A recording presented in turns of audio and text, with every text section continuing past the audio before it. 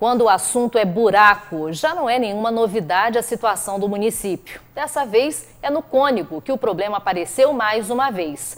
Estamos de olho.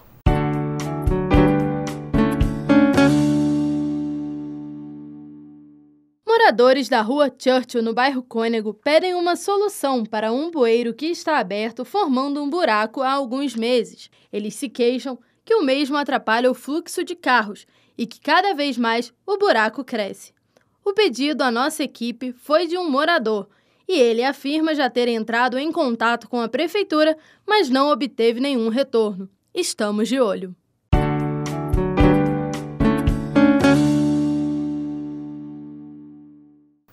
Enviamos nota para a prefeitura, mas até o momento não obtivemos resposta.